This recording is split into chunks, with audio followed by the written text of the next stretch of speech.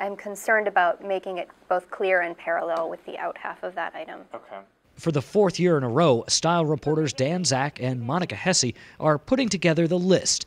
You might be being too picky. That could happen. That has been known to happen. Since the dawn of time, mankind has made lists. There have been lists of commandments, top 10 lists, lists of theses, even Franz Liszt. But in 1978, The List was born at the Washington Post. The list divided the culture into two columns out and in. The great dark secret about the list is that those of us who've done it over the years are always just a little bit too old to be doing it.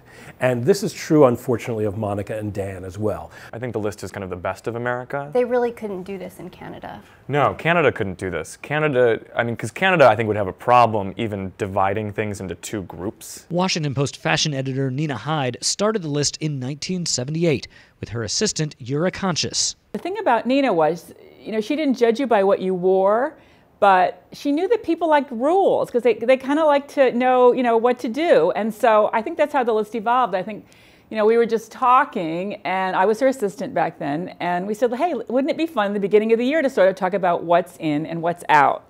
And I think that, you know, it got a little weirder every year.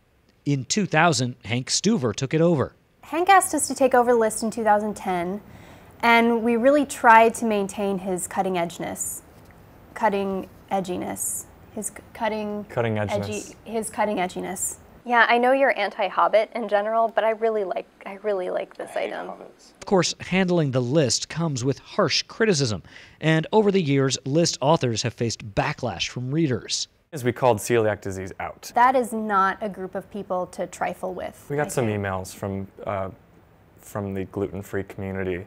Who thinks Betty White is out? But you think Betty White is out and Anne Mara is in. One year, I went up to the View, and that year we had um, those yellow Lance Armstrong, Livestrong cancer bracelets.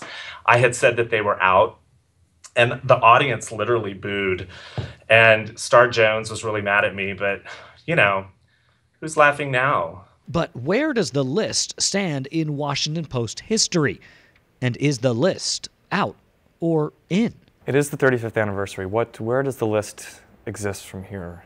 You didn't hear this from us, but I've heard rumors that in the future the Washington Post will be known as the List Washington Post, or perhaps the Washington Post colon the, the list. list. And I think it's something that should probably appear on the front page in the future. But I, mm-hmm. I'll let the people who run this shop come to that conclusion. When I looked at a draft of the list, most of the things on it, I didn't know anything about them.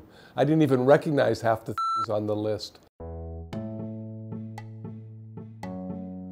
It's, it's what's right here in the middle between us. Yeah, This, this is the list right here. And we give this, it's like this size. right, and then we give it to you.